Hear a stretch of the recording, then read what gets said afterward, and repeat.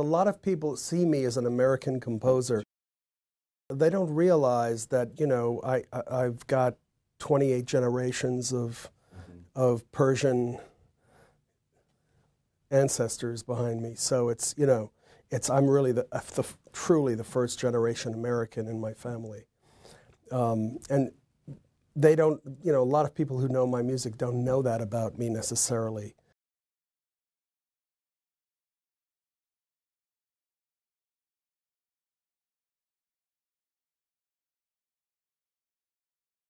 I've kept my Persian ancestry at, uh, at a distance when it came to the music I was writing until recently.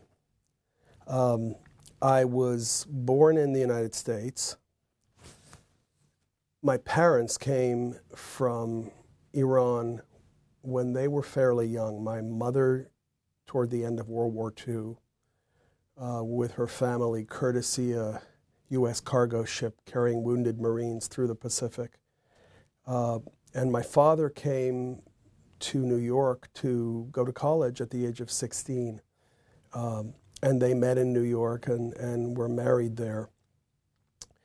I went to Iran once at the age of seven in 1963. It was the same year of the Kennedy assassination. And we were there for about 11 months. It was a difficult time for a number of reasons, but uh, perhaps because of the intensity of the time spent there, my memory, both visual and oral, is very clear. Uh, and so that was a real repository for me, uh, a repository of information and sound uh, when I started to become interested in going back to my ancestral pool. The turning points for me that got me interested in writing in this way. Um, I, I began writing a piece in 2009 for a trio that was based in Philadelphia piano, cello, and flute. And the title of the piece is Remembering Neda. Neda Sultan was the woman who most of us in the United States saw murdered on CNN, courtesy of a, of a telephone camera. And uh, during this period when the, ele- the validity of those elections were being challenged, my mother, who is still very much alive and living in Florida, was giving me information about what was actually going on there. And she was speaking about how a quiet but nonetheless determined counter revolution was being pulled together by mostly the women of the country. And I thought this was extraordinary to have a Gandhian counter revolution being led by women of course, they're the citizens of that country who have had the most to lose in this male dominated theocratic environment. Nonetheless, I wrote the piece and found myself appropriating ideas from my memory of that time that I was a child. I wasn't writing necessarily tunes or incorporating melodies and rhythms from that period, but rather it was my memory of those rhythms and melodies.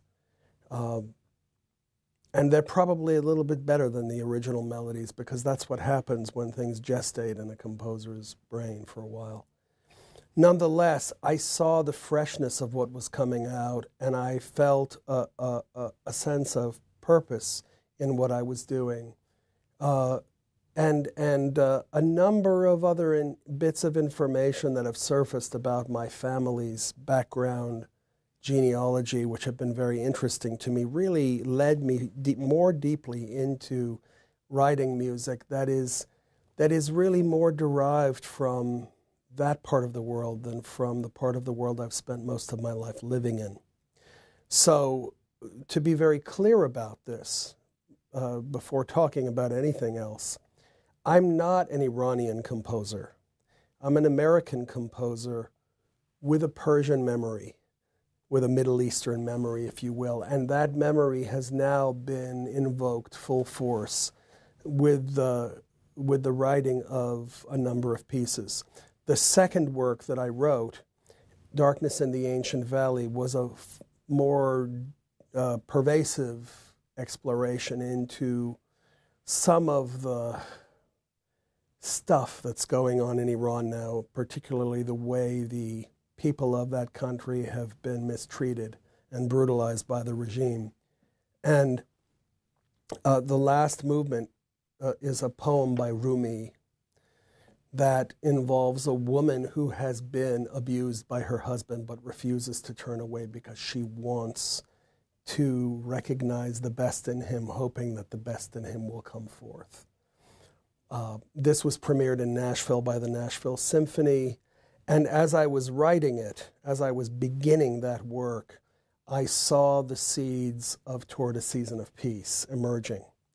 And although I saw the reality of this coming together through, in a practical way, through conversations with people at the PSO, uh, this was this was I think something that had been waiting for many years to happen. This large choral work that we're about to premiere, but in a way, it was it was given a shot in the arm by the work that I was doing on the symphony that's entitled Darkness in the Ancient Valley. So I see that piece as a sister work to this younger, bigger brother.